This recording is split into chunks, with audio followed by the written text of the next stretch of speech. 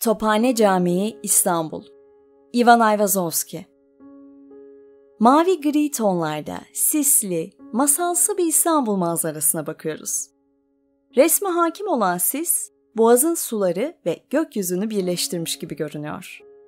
Ön planda içinde beş yolcusuyla muhtemelen karşı kıyıya geçmekte olan bir kayık dikkatimizi çekiyor. Aslında denizde trafik epey yoğun. Ancak sis bunları ilk bakışta fark etmemizi zorlaştırıyor. Solda tek direkli bir tekne. Arkada ise kıyı şeridi boyunca yelkenlileri görüyoruz. Kıyıda sisin gerisinde. Normalde İstanbul silüetini aktaran resim ve fotoğraflarda başrolde görmeye alışık olduğumuz Galata Kulesi. Ancak bu sefer roller değişmiş. Bu manzarada en dikkat çeken anıtsal yapı resmin sağ tarafında tüm ihtişamıyla karşımızda. Nusretiye Camii. Halk arasında bilinen adıyla ise Tophane Camii. İstanbul'da Boğaz'ın girişinde Kabataş ve Karaköy arasında kalan Tophane semti, ismini hemen caminin arkasındaki 15. yüzyılda top döküm ocaklarının bulunduğu Tophane-i Amire binasından alır. Bu dönemde bölgede bir de Topçu Ocağı kışlası bulunur.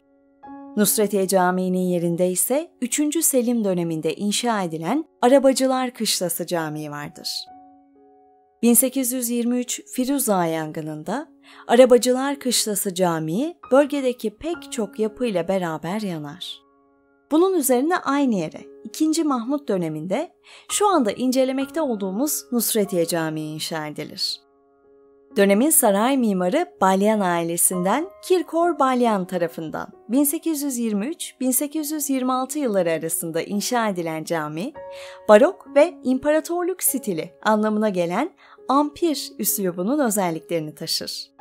Dikdörtgen planlı caminin kubbesi süslü kemerler üzerine oturtulmuş, kubbeyi çevreleyen altın renkli alemler ve dört köşesindeki ağırlık kulelerinin armudi küçük kubbeleri yapıya oldukça hareketli ve gösterişli bir hava katmıştır.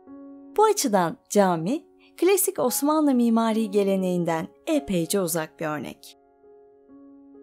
Ayvazovski 19. yüzyılın en beğenilen ressamlarından biridir. Gerek doğduğu Rusya'da, gerekse Avrupa'da ve Osmanlı İmparatorluğu'nda gözde bir sanatçıdır. Dönemin pek çok ressamı gibi yolu İstanbul'a düşmüş, daha sonra Sultan Abdülaziz tarafından davet edilmiş ve Osmaniye nişanıyla onurlandırılmıştır. Romantik üslupta eserler veren sanatçı sıklıkla yaptığı doğa ve deniz temalı manzara resimleriyle bilinir.